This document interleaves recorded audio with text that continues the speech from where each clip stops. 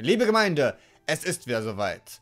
Das Weihnachts-Winter-Schneeturnier 2023-24 steht wieder an. Und die Anmeldungen sind schon seit einem Weilchen eröffnet. Dieses Jahr wird das Turnier von dreien von uns geleitet. Von meiner Wenigkeit, von The Phoenix wie letztes Jahr. Und hinzugekommen ist Robbie the Fox. Wir werden außerdem unterstützt von Total War Angel und Novator, welche ein paar schöne Karten für unser Turnier zusammengestellt haben. Der Turnierzeitrahmen. Das Turnier beginnt am 8.12.23 und es endet spätestens voraussichtlich am 3.3.24. In dieser Zeit müssen all die Spiele ausgetragen werden. Die Anmeldefrist ist allerdings erstmal schon am 3.12.23 angelegt und die Anmeldung erfolgt über ein hübsches kleines Google-Formular, welches hier sowohl in der Videobeschreibung als auch in den angepinnten Kommentaren, im angepinnten Kommentar unten in den Kommentaren verlinkt ist. Ich kann jetzt nicht über das ganze Regelwerk gehen, weil es den Rahmen ein bisschen sprengen würde, aber ich kann ein paar Kleinigkeiten schon mal im Voraus erwähnen. Zuerst einmal das Wichtigste, was ihr wissen solltet.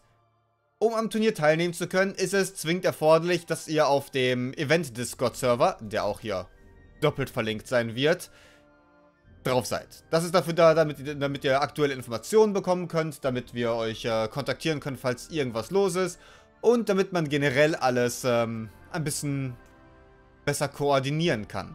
Das ist tatsächlich eine zwingende äh, Anforderung, weil wir letztes Jahr ein paar Umstände hatten mit Leuten, die nicht auf dem Server waren und dadurch nur ja, mäßig Kontaktaufnahme möglich war, wenn es um Dinge geht. Des Weiteren, ja, gibt es nicht zu viel, was zu bedenken ist. Wir haben dieses Jahr drei Karten. Das kann ich schon mal ein bisschen voraus ankündigen. Zu denen mal schauen, ob dazu spezifische Videos kommen. Zu einem der Spielmodi kommt auf jeden Fall was. Die, erst, die drei Karten bestehen aus einer Karte geschaffen von Robbie the Fox. Nennt sich Gezeiten, ist relatives Standard-PvP, hat allerdings auch ein paar kleine Twists im Sinne von, es ist eine RNG-Karte, das bedeutet, ein paar der Geländeeigenschaften werden von Match zu Match unterschiedlich sein. Und als besonderen Zusatztwist sinkt das Wasser auf der Karte mit der Zeit ab.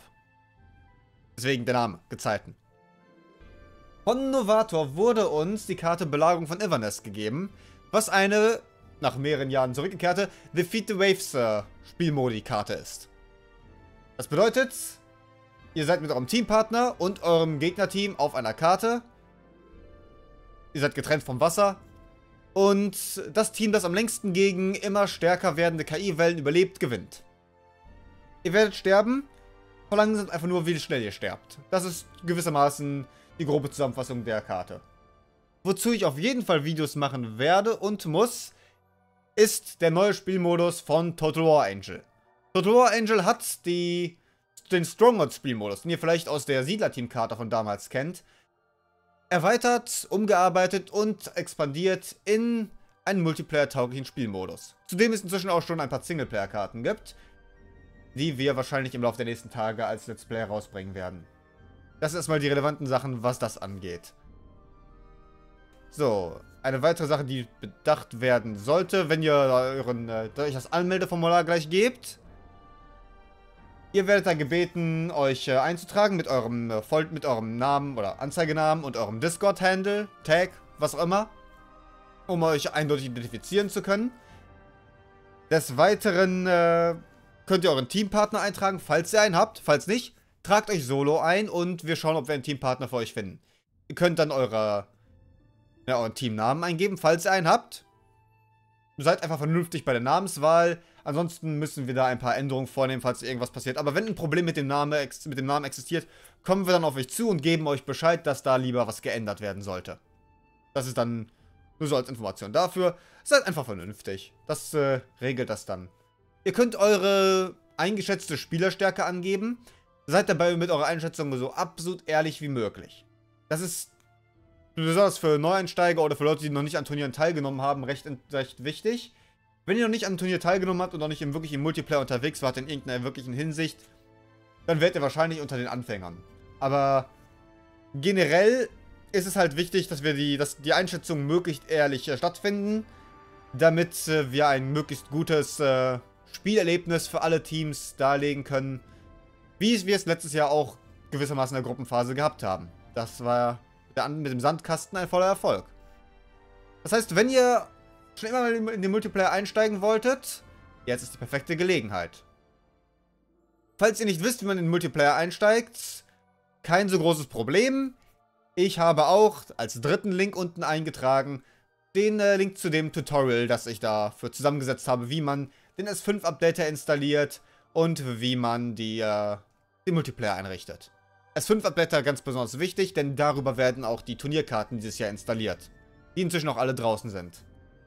Das heißt, ihr könnt euch die Karten bereits ansehen, ihr könnt euch Teampartner suchen und, und ja, euch fürs Turnier eintragen.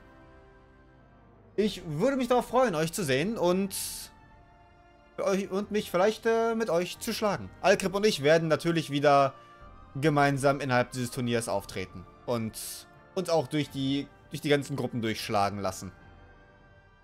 Das sind erstmal die groben Sachen. Genauere Themen zu den Regeln, die findet man dann auf dem Siedler, das Erbe der Könige Events Discord, der wie gesagt verlinkt ist. Unter der Kategorie Winterturnier 2023-24 gibt es da die Ankündigung mit den genauen Regeln und einen Überblick über die Karten bei ihren Ankündigungen. Man sieht eine Eintragung über die ganzen Teams, die existieren. Man sieht einen Channel, wo die Spieler teamsuchend sind. Und es gibt einen Channel, wo man Feedback zu den Maps geben kann. Falls man zum Beispiel irgendwelche Fehler in den Karten findet, sollte man die auf jeden Fall melden, damit die vor dem Turnier korrigiert werden können. Das ist sehr wichtig. Fehler für sich zu behalten, ist ausgesprochen unsportlich und das macht man nicht.